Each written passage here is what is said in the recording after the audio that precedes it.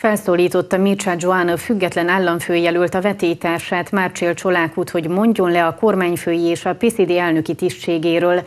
Szégyentelenül hazudott, így szégyen lenne az is, hogy Romániát egy ilyen elnök vezessen, mondta.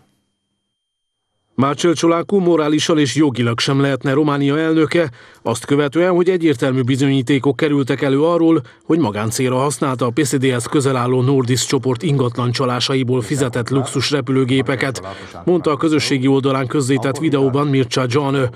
Az ügy hátterében az áll, hogy a G4 Media nyilvánosságra hozott egy dokumentumot, amelyből kiderül, hogy a PSZD több vezető politikusa, köztük Márcsil Csuláku is 2022-ben, az idén október elején fizetésképtelenné vált Nordis cég által a Ciriák értől bérelt magánrepülőgéppel utaztak.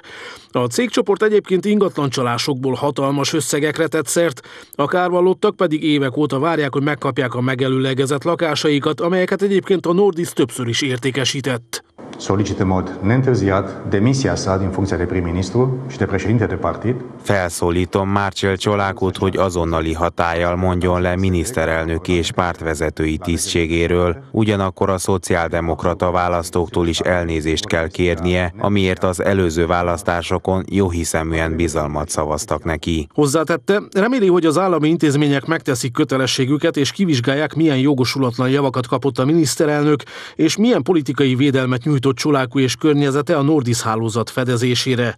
Az ügyben egyébként Elena Laszkóni és Nikolai Csuka is kérte Csolákú lemondását.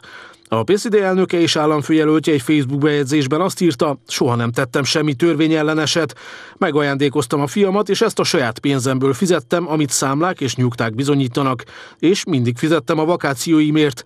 Az az igazság, hogy Csúka úr, aki most a visszalépésemet kéri, 4 millió eurót fizetett a saját könyvére közpénzekből.